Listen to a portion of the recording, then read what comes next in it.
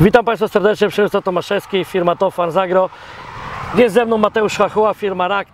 Znajdujemy się na poletkach demonstracyjnych firmy RAKT i chcielibyśmy dzisiaj omówić i porozmawiać na temat dwóch rewelacyjnych odmian RGT Provision i RGT Metronom. RGT Metronom. Mateuszu, kilka słów pokrótce, dlaczego te odmiany, dlaczego je polecasz, co możesz ciekawego o nich powiedzieć? To są dwie bardzo ciekawe odmiany o bardzo fajnym, wysokim potencjale planowania. Ja natomiast, Przemek, chciałbym jeszcze e, wspomnieć kilka słów, gdzie jesteśmy. Jesteśmy na Kujawach, e, bo będą nas oglądali ludzie z całej Polski. E, w tej chwili Kujawy doświadczają też, jak, w wielu miejscach kraju, wysokich opadów. Jak widzicie, te zboża stoją, wygląda to dobrze. Tutaj w sobotę 67 litrów z wiatrem. Naprawdę duży opad. E, RGT Provision jest odmianą, która jest odmianą do osiągania bardzo wysokich potencjałów planowania. Jest to odmiana, która zadowoli właśnie takiego rolnika, który Oczekuję stosuje, wysokich tak, plonów. oczekuje wysokich plonów, stosuje intensywną uprawę i, i chce osiągać jak najlepsze wyniki. Poletka poletkami, Mateuszu, jednakże ja mogę pochwalić się też tym, że w okolicy są roz, e, rozmieszczone plantacje nasienne odmiany Provision jest się naprawdę czym chwalić. Odmiany te wyróżniają się przede wszystkim bardzo dobrym wigorem z jesieni, bardzo dobrym wigorem e, wiosennym, piękną budową kłosów, roślinami bardzo sztywnymi, co udowodniła ekstremalne warunki pogodowe, które tutaj mamy. E, Na pewno warto też e, zwrócić uwagę, że Provision bardzo mocno reaguje na regulator wzrostu. On e, jest to odmiana, która jest nieco wyższa, ale przy podaniu w dobrym momencie regulatora wzrostu będzie naprawdę utrzymywał fajną wysokość i będzie się cieszył, tak jak widzicie, e, odmianą, będzie stabilna. Ty mówią rolnicy, to chwalą rolnicy, fakt faktem rolnicy szukają niskich odmian. Mm, Provision Ale- nie należy do najwyższych odmian. Powiedzi- Powiedzieliśmy o rolnikach, którzy oczekują najwyższych wyników planowania. Myślę, że e, regulator wzrostu to jest e, element naturalny i e, podstawowy agrotechniki. Oczywiście e, są gospodarstwa, które stosują przy niższych nawożeniach, stosują, e, może nie stosują regulatorów, ale no, to jest myślę, że rzadkość. E, Mateuszu, mówimy o nawożeniu. Jakie według Ciebie są zalecane te normy azotowe, jeżeli chodzi o plantację odmiany Provision? Na pewno, na pewno bardzo ważną rzeczą, e, jeśli chodzi o nawożenie prowizjona, jest ostatnia dawka. Jest to e, odmiana, która potrafi bardzo dobrze zaplanować, natomiast żeby osiągnęła jakość, potrzebuje wysokich dawek azotu i e, przy tym bardzo wysokim potencjale ostatnia dawka wysoka powoduje to, że będziemy mieli pszenicę w klasie jakościowej. E, To, że odmiana metronom e, należy do odmian bardzo prostych w uprawie, to wiemy. E, Co możesz powiedzieć, jeżeli chodzi o technologię uprawy Provisiona? E, Metronom i Provision różnią się troszeczkę od siebie, jeśli chodzi o zdrowotność. Metronom jest odmianą łatwą w uprawie, ona jest odmianą, która wiele wybaczy. Jest to odmiana, która, którą można zaczynać przygodę z pszenicą, nawet bym powiedział czasami.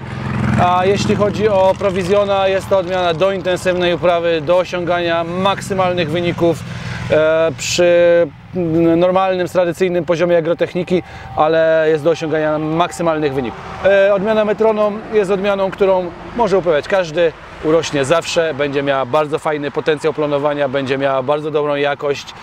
Ona ma, to jest klasa jakościowa A. E, Ta ostatnia dawka nie musi być aż taka wysoka.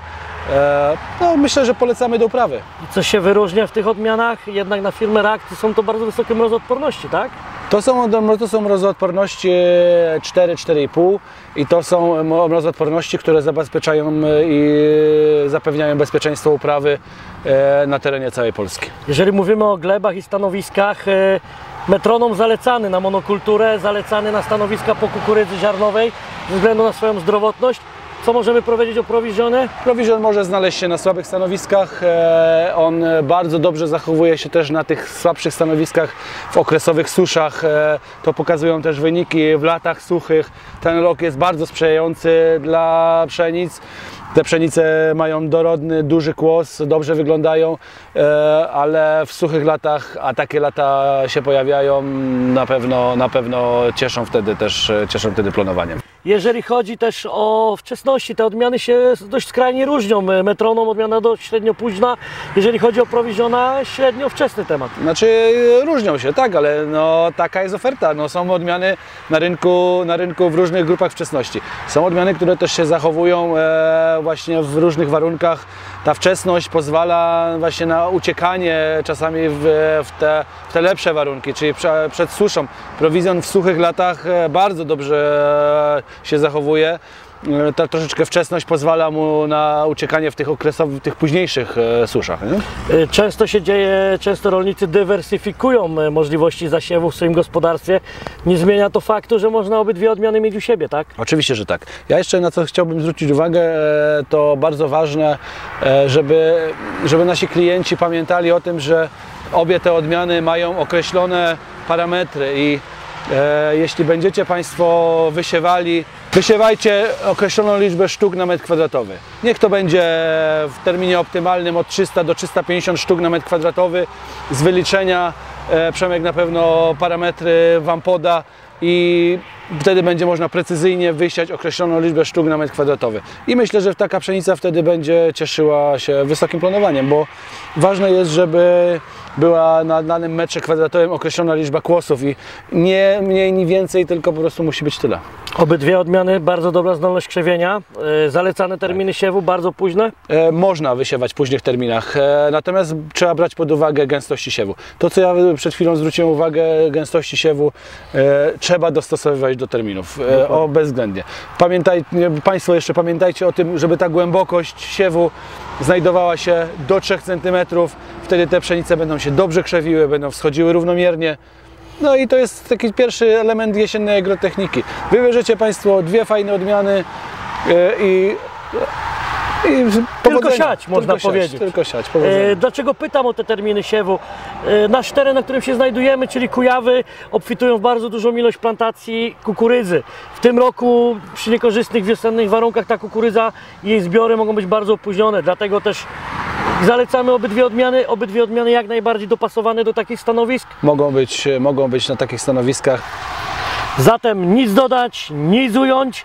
Zapraszamy do zakupu, zapraszamy do zapoznania się z odmianami hodowli RAKT, Metronom, RGT Provision. Myślę, że to jest bardzo dobra rekomendacja z Twojej strony. Oczywiście, że tak. Dwie odmiany mogą znaleźć się w jednym gospodarstwie, mają różne cechy i myślę, że będą cieszyły naszych klientów e, nad planowaniem. Dziękujemy, że mogliśmy powiedzieć kilka zdań na ten temat. Pozdrawiamy serdecznie.